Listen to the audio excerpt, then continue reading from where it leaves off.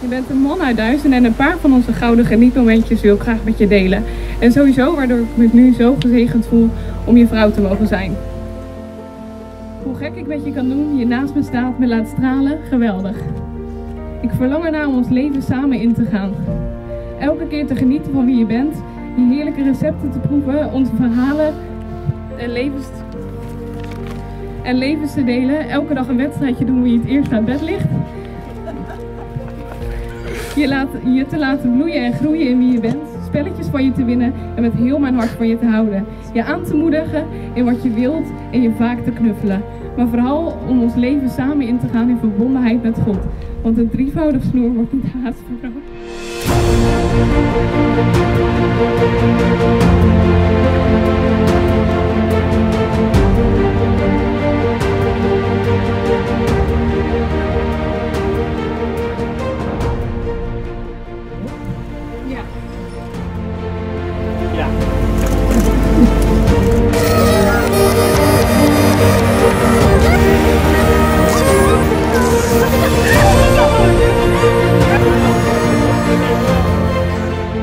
Samen voor een lange reis.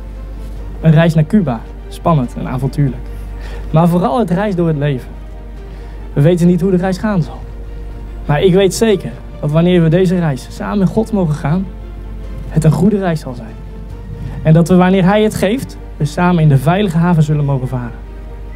Want de reden dat we hier staan ligt niet in ons.